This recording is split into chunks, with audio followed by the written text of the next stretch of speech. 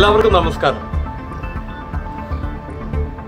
കേരളത്തിന്റെ വാർത്താ മാധ്യമങ്ങളൊക്കെ ഭാരതത്തിന്റെ ദേശീയ ധാരയിൽ നിന്ന് കുറേ ദൂരെയാണെന്ന് നമുക്ക് എല്ലാവർക്കും അറിയാം.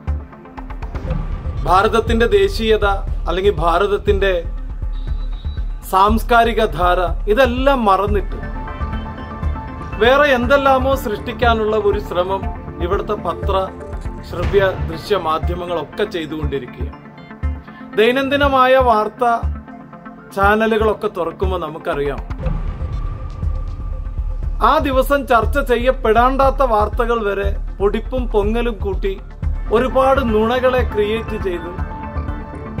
അനാവശ്യമായ രീതിയിൽ വാർത്തകളെ ക്രിയേറ്റ് ചെയ്യുന്നത് നമുക്ക് കാണാൻ സാധിക്കും. അപ്പോഴൊക്കെ ഒരു ഭാരതീയൻ എന്നുള്ള നിലയ്ക്ക് പലരും കരഞ്ഞുപോയ സന്ദർഭങ്ങളുണ്ട്.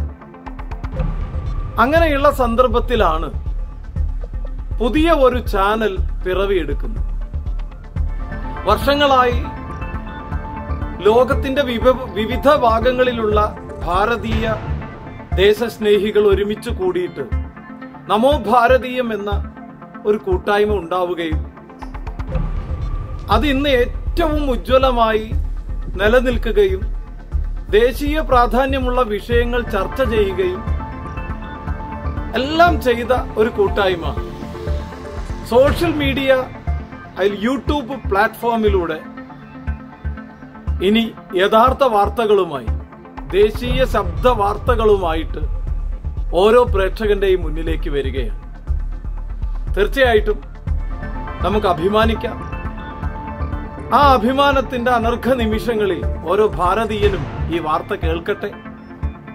കേരളത്തിൽ നിന്ന് ഉയർന്നു വരുന്ന സത്യസന്ധമായ വാർത്ത ഭാരതത്തിൽ ആകമാനമുള്ള സത്യസന്ധമായ വാർത്ത കേന്ദ്ര സർക്കാരുകളുടെ സത്യസന്ധമായിട്ടുള്ള പദ്ധതികൾ ലോകത്താകമാനം ഭാരതത്തെ ഉയർത്തിക്കാണിക്കുന്ന ഉജ്ജ്വലമായ നിമിഷങ്ങൾ മുഹൂർത്തങ്ങൾ ഇതെല്ലാം ഈ നവഭാരത് ന്യൂസിലൂടെ കാണാൻ നമുക്ക് ഭാഗ്യമുണ്ടാകും. ആ ഭാഗ്യത്തിലേക്ക് നമുക്ക് എത്താനും സാധിക്കട്ടെ എന്ന് ആത്മാർത്ഥമായിട്ട് പ്രാർത്ഥിക്കുകയാണ്. നവഭാരത ന്യൂസ് എല്ലാ ന്യൂസ് ചാനലുകളുടെയും മുന്നിൽ ഒരു ദേശീയ ശബ്ദമായി ഭാരതത്തിന്റെ ശബ്ദമായി ലോകത്താകമാനം ആ ശബ്ദം മുഖരിതമായി മാറട്ടെ എന്ന് പ്രാർത്ഥന മാത്രമേ ഉള്ളൂ. തീർച്ചയായിട്ടും എല്ലാവിധ ആശംസകളും നേരുന്നു.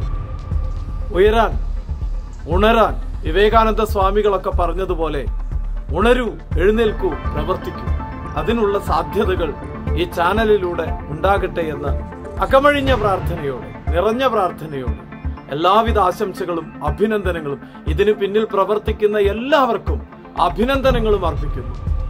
എന്റെ പേര് Madhu Kadampuzha institute of Bhagavad Gita chairman